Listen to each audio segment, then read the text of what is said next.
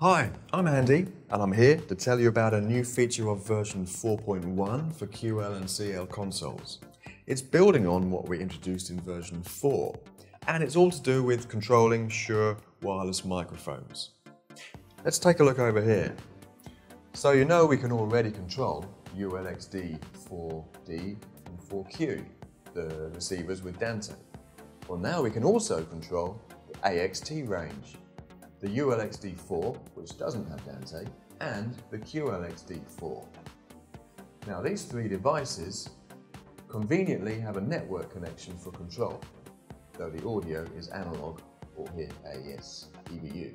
But anyway, the network, we all connect to the switch that we also use for Dante. Yamaha SWP1 in this case, and then we come through to the console via the Dante network. Now let me show you how to set up in here. In this network page, now we've got two tabs. The first one is for mixer control. That's the iPad app and the editor software. But the next one is for device control. So remote controlling the external devices.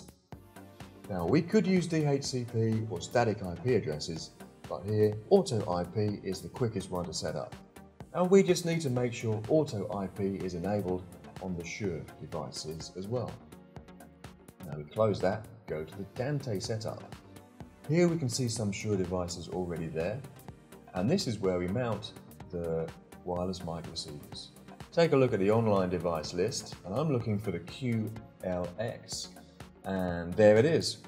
Now, for the non-Dante devices, we don't have to set a uh, ID number, so that makes it a little bit faster. And look here, we've got a new device identifier. Press and hold that and you'll see the front panel LEDs flashing. Very handy. So we're going to mount that and it's going to connect. There it is. Close this window and go to the I.O. device menu. We can see the devices here and we go to the wireless tab. Let's find the QLXD4. Here it is. Let's open that up and grab the microphone. One, two, one, two there's the level. So we can see audio level and uh, the receiver gain. We can see the frequency of transmission. We can give it a name here. And we've got the RF level and the battery status. Wonderful. Now there's one more thing we need to consider, and that's on this tab, port assign. Because the audio is coming in analog, and the control is coming in through the network, we need to marry the two together. So we've got to tell it what port the audio is coming in. Now for me, I'm using an analog input on the RIO uh, device ID 1. So I've got to find that. Look, here it is, number 3.